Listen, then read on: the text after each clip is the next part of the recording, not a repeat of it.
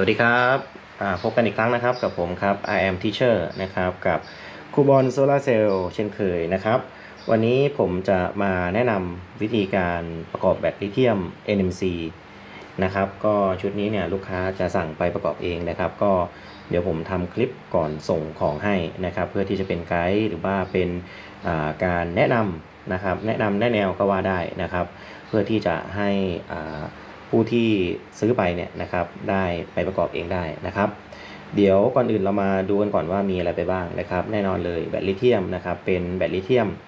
อ่า NMC นะครับขนาด 100 แอมป์นะครับขนาด 100 แอมป์ลูกค้าจะเอาไปทำในระบบ 12 โวลต์นะครับ จริงๆแล้วเนี่ยโวลต์ไม่ถึง 12 หรอกนะครับ โวลต์จะอยู่ที่ประมาณ 11 นะครับ 11.71.8 กว่านะครับ ทีนี้เนี่ยก็ใช้ที่ 3 เซลล์นะครับ 3S นั่นเองนะครับ ตัวต่อไป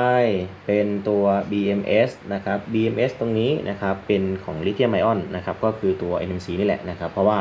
แรงดันที่ใช้เนี่ยเท่ากันก็คือ 3.7 นั่นเองนะครับ ตรงนี้เขียนสเปคไว้ชัดเจนนะครับ 3S 12 โวลต์ 100 แอมป์นะครับ ตัวต่อไปครับเป็นตัว Active Balance นะครับ Active Balance ตัวนี้ขนาด 5 แอมป์นะครับทำหน้าที่คอยเกลี่ยแรงดันนะครับ ให้มันเท่ากัน นะครับเกลี่ยแต่ละเซลล์ให้มันเท่ากันนะครับ เป็น balance นะครับ Active Balance นะครับ แล้วก็มี busbar นะครับ busbar ขนาด 2 ตัวนะครับ busbar ทองแดงนะครับ 2 ตัวเพื่อที่จะมาทำการอนุกรมแบตแต่ละเซลล์นะครับ ให้มันได้ตามที่เราคำนวณออกมาไว้นะครับ แล้วก็จะมีตัวสายนะครับ 2 เส้นใช้กับ BMS กับ Active Balance นะครับชุดนี้ก็จะมีมิเตอร์แถมเข้าไปด้วยนะครับ เป็นมิเตอร์ขนาดเล็กนะครับ เอาไว้วัด เอาไว้ดูสถานะแรงดันนะครับ ว่าอยู่ที่กี่โวลต์กี่โวลต์นะครับ โอเค ทีนี้เรามาดูกันก่อนเลยนะครับ ในการประกอบเนี่ยอย่างแรกที่เราจะต้องมีก็คือเจ้าตัวมิเตอร์นี่คือสำคัญมากนะครับ พื้นฐานทางอิเล็กทรอนิกส์เนี่ยเราจะต้องมีมิเตอร์ไม่ว่าจะเป็นตัวมิเตอร์ธรรมดาหรือว่าเป็นดิจิตอลมิเตอร์นะครับก็เอาที่มันสามารถวัดค่าแรงดันได้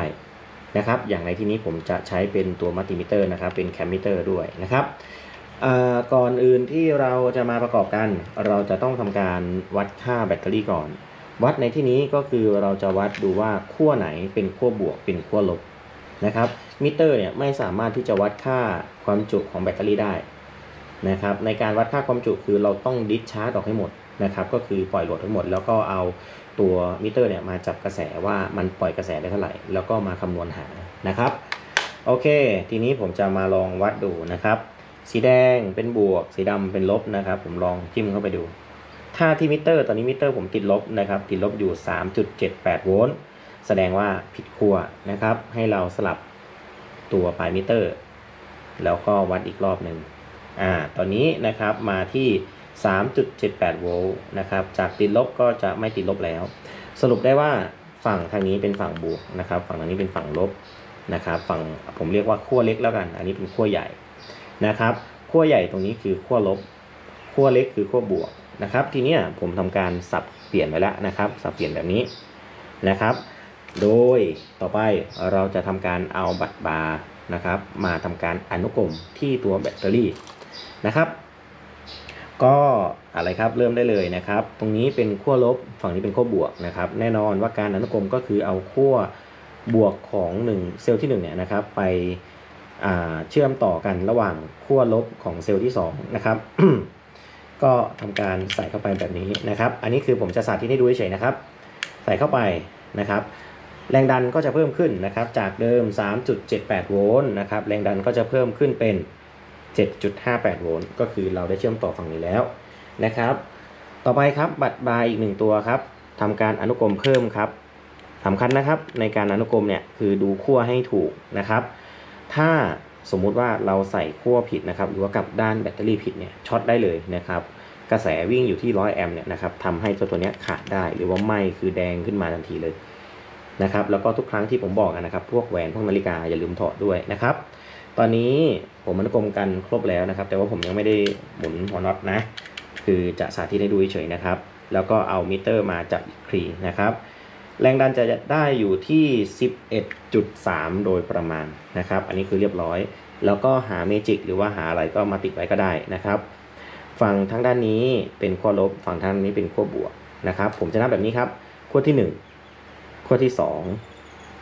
นะครับขั้วที่สามขั้วที่สี่นะครับ ผมจะนับแบบนี้เลยนะครับ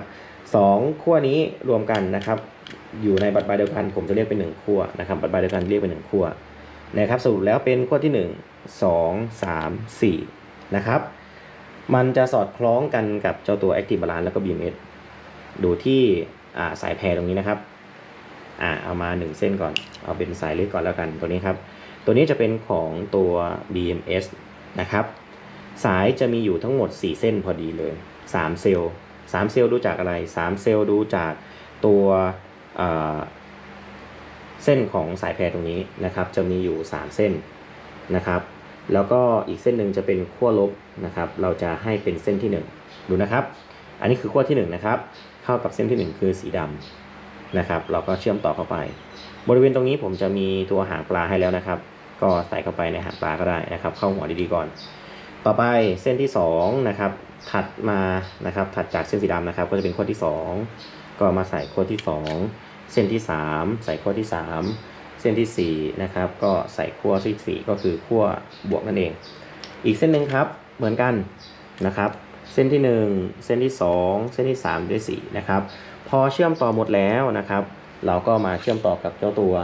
อ่า BMS BMS ครับขั้วตรงนี้มันจะมี 2 ขั้วนะครับ ดูนะครับ มันจะมี P ลบกับ B ลบ B ลบนะครับ ให้เอามาเชื่อมต่อเข้ากับตัวขั้วลบของตัวแบตเตอรี่ นะครับการวางเนี่ยแล้วแต่เลยนะครับอย่างเช่นตรงเนี้ย BMS จะวางไว้ข้างนะครับแบบนี้ก็ได้แล้วใช้เทปใยสับลบพันนะครับแล้วก็มาเชื่อมต่อแบบนี้ พอเชื่อมต่อเข้าไป P ลบคือขั้วที่ไปใช้งานนะครับ แล้วก็ค่อยเชื่อมต่อสายเข้ากับ BMS นะครับลักษณะนี้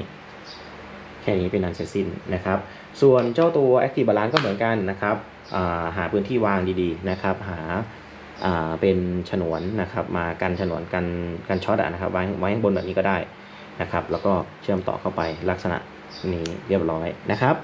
อันนี้ก็จะเป็นการแนะนำการใช้งานนะครับ วิธีการต่อต่างๆนะครับ อันนี้มีฝาครอบให้ด้วยก็เอาไว้ปิดให้สวยงามนะครับอ่าอันนี้ก็จะเป็นตัววิธีการประกอบนะครับ เป็น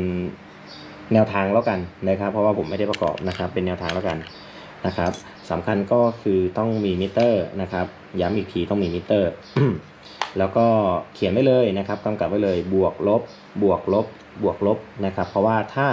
มีขั้วใดขั้วหนึ่งนะครับ หรือว่าเซลล์ใดเซลล์หนึ่งวางผิดเนี่ยเราต่อเข้าไปครับ มันจะทำให้เจ้าตัว BMS เราช็อตได้นะครับ แล้วก็เจ้าตัว Active Balance ไหม้นะครับ ทีนี้มันจะมีอีกอย่างหนึ่งนะครับ ในกรณีที่เราเประกอบเสร็จแล้วนะครับ ใช้งานได้แล้วเนี่ยแล้วบางทีตัว BMS มันตัดนะครับ BMS มันตัดวิธีการกู้คืน BMS หรือว่า การที่จะให้มันมาทำงานต่อนะครับ เรามีวิธีนะครับ วิธีการก็คืออให้หาสายไฟนะครับ ให้หาสายไฟเล็กๆสักเส้นหนึ่งเดี๋ยวผมจะเอาสายไฟจากเส้นนี้มาเส้นหนึ่งนะครับ วิธีการก็คือพอเราประกอบแล้วใช่ไหมครับขั้ว B ลบมันจะอยู่กับแบบอย่างนี้นะครับ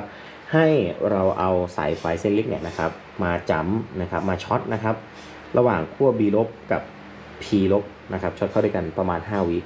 นะครับแล้วก็ปล่อย มันจะเป็นการรีเซ็ต BMS นะครับเป็นการรีเซ็ต BMS นะครับให้กลับมาทำงานต่อนั่นเองนะครับเพราะ BMS มันจะทำหน้าที่คือคอยป้องกันเซลล์ใดเซลล์หนึ่งนะครับมันต่ำกว่าที่กำหนดไว้ หรือสูงกว่าที่กำหนดไว้ หรือช็อตนะครับช็อตก็คือ output ช็อตนั่นเองนะครับโอเค อันนี้ก็จะเป็นการแนะนำวิธีการประกอบตัวแบตเตอรี่ลิเธียม NMC นะครับ องค์ประกอบคร่าวๆ ก็จะมีเท่าที่เห็นประมาณนี้นะครับ ก็ เดี๋ยวไล่ดูอีกทีจาก display ใหญ่แล้วกันนะครับ ก็จะมี busbar นะครับ busbar สองตัวนะครับเชื่อมต่อระหว่างเซลล์ที่ 1 กับเซลล์ที่ 2 แล้วก็ 2 กับ 3 นะครับ ต่อไปก็จะเป็น Active Balance นะครับ BMS แบตเตอรี่